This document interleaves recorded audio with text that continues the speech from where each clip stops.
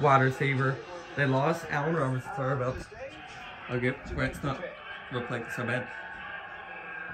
Pickens. George Pickens all the way. George Pickens. It's got to be a wide receiver. Who the f- is that guy? Sorry, Conor McGregor. Oh my God, Forte. He played for Tulane, if you're wondering. With the 39th pick in the 2022 NFL Draft, Chicago Bears select DB from Washington, Kyler Nope. Gordon. Nope. Are you serious? Are you serious? Who the, who the is that guy?